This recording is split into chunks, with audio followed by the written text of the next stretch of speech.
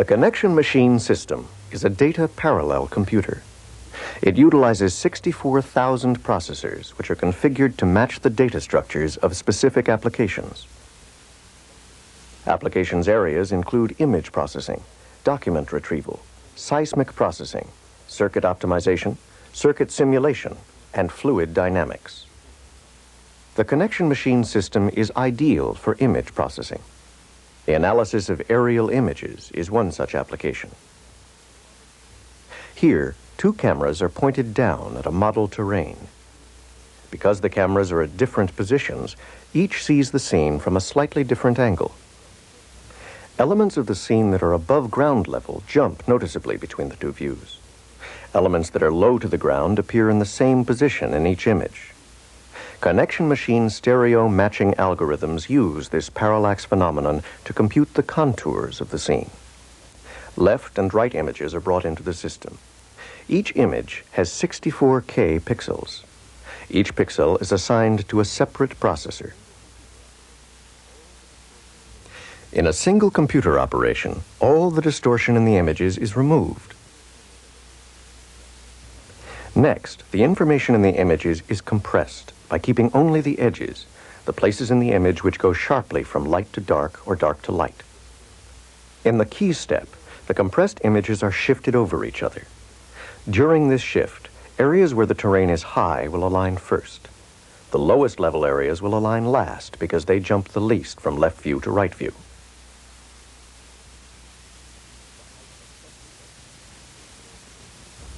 The height of every edge section of the overall scene is computed from the alignment information gathered in the previous step. Here, the highest edges are shown in the lightest tones. The lowest areas are dark. Next, the height information is filled in for all the areas between the edges.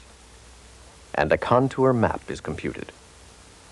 Processing requires 500 million computer operations and runs in half a second. Scientists are using the connection machine system to pioneer new approaches to fluid dynamics simulation. Previous methods have been based on partial differential equations. The connection machine approach models packets of particles directly. Operation of the system is straightforward. The flow of fluid can be started and stopped interactively. The density of the fluid can be adjusted up or down, as can the velocity. Several different flow parameters may be observed. Setup is straightforward. The user simply places an object into the fluid field and starts the simulation. At the beginning of the run, we see two vortices form behind the plate.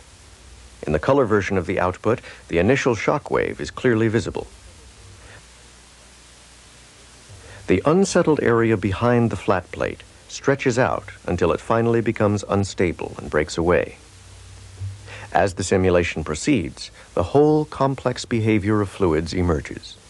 Vortices shed alternately from the top and bottom edges of the plate. Production of this 30-second sequence required 15 minutes of connection machine time. The results obtained by simulation match the behavior observed in real-world fluids. It is also easy to create new objects. Once created, objects may be placed in the fluid field and meaningful results obtained in a minute or so. The connection machine system updates 750 million sites per second. These six applications are suggestive of the many types of problems that connection machine systems solve. Applications cover the spectrum from words to pictures to numbers, and from commercial database to scientific problem solving.